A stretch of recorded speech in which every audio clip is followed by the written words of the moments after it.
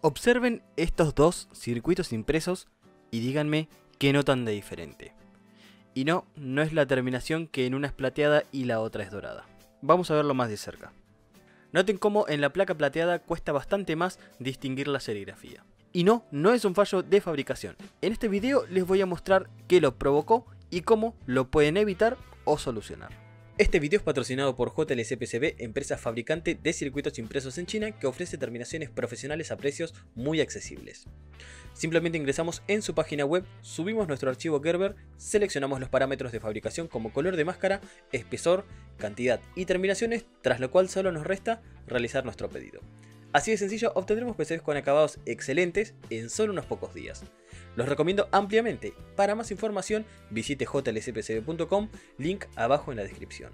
Aquí tengo abierto el proyecto en cuestión que se trata obviamente del voltímetro amperímetro digital del cual ya hemos hecho varios videos acá en el canal. Si no los vieron se los voy a dejar por acá en una tarjeta y debajo en la descripción. Es el circuito impreso, no tiene absolutamente ningún misterio, acá lo podemos ver en la vista 3D, pero el problema yo lo tuve al momento de exportar el Gerber. Y como ustedes pudieron ver en las imágenes que les mostré al principio, mandé a hacer dos versiones diferentes, pero en una pueden ver que la serigrafía es mucho menos legible. ¿Y esto a qué se debe? Bueno, vamos a verlo. Primeramente obviamente vamos a generar nuestro archivo Gerber, lo generamos, el parámetro que nos va a ayudar a determinar qué nivel de legibilidad va a tener nuestra serigrafía es este parámetro, que es justamente el que nos va a definir la resolución de nuestra serigrafía. Como ven, acá por defecto está marcado en 500 dpi, pero vemos que tenemos varias opciones. Cuanto más alta sea esta variable, mejor definición, mejor resolución vamos a tener con nuestra serigrafía, pero por consiguiente nuestro archivo Gerber va a ser más pesado. Les voy a mostrar varios ejemplos para que noten la diferencia. Vamos a arrancar por 125 dpi, generamos el archivo Gerber y lo abrimos en el visor. Bien, a simple vista parece que no hay nada extraño, pero fíjense qué pasa cuando nos acercamos a la serigrafía. Podemos ver en este caso que el alto total de la letra que compone nuestra serigrafía son simplemente 4 barras horizontales que trata de darle forma a la letra. Vamos a generar un nuevo archivo Gerber pero esta vez aumentando la resolución. Vamos a generar otro archivo Gerber y vamos a generar uno de, por ejemplo, 500 dpi, que es el que trae por defecto. Vamos a generarlo, lo reemplazamos al existente, no hay problema. Y fíjense ahora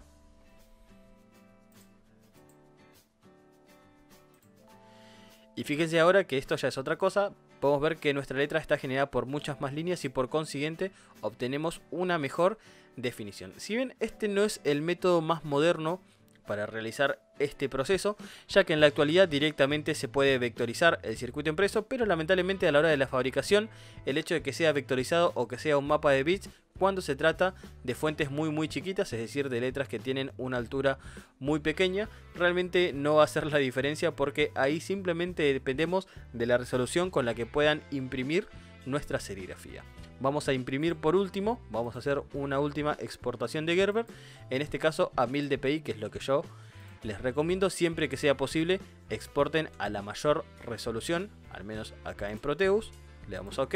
Y acá tenemos un Gerber generado a 1000 dpi. Como pueden ver tenemos muchísima mejor resolución en la fuente, esto se nota a la perfección, sobre todo cuando se trata de letras. Fíjense que tenemos una muy buena representación, un muy buen dibujado, si bien los bordes no son perfectos, obviamente, porque tenemos ciertas restricciones, está realmente muy pero muy bien logrado.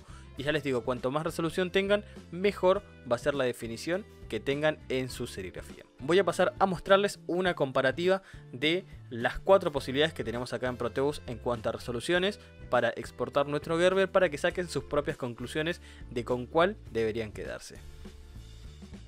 Como ya les adelanté, la respuesta es obvia, siempre que sea posible vamos a exportar a la mayor resolución posible, en mi caso 1000 dpi. Entonces, ¿qué ocurrieron con mis circuitos impresos? Bueno, lamentablemente uno de ellos, el que está con la terminación en dorado, fue exportado a 1000 dpi, pero lamentablemente la terminación plateada fue exportada a 250 dpi, es por eso que tengo una tan deficiente calidad en la serigrafía de ese circuito impreso. Lamentablemente es un error que se me pasó por alto a la hora de realizar la configuración en la exportación de mi Gerber, pero bueno, son errores que pueden pasar y lo importante es que podamos aprender de ellos y ver cómo lo podemos solucionar para no volver a cometerlos en el futuro. Así que si este pequeño tip, si este pequeño consejo les ha ayudado, les agradecería que dejaran un buen me gusta en el video y se suscriban para no perderse de ningún video y lo compartieran con aquellos que crean que les puede interesar. Si tienen interés en aprender a utilizar esta potente herramienta de diseño de circuitos impresos como es Proteus, les voy a dejar por acá en la tarjeta y al final del video la lista de reproducción completa con todos los videos que incluyen este tutorial para el manejo básico desde cero de esta herramienta de diseño que es Proteus. Ahora sí me despido, por en pantalla les voy a dejar otros videos que estoy seguro que les pueden interesar, un botón para que se suscriban y por mi parte, sin más que decir, me despido, hasta el siguiente video.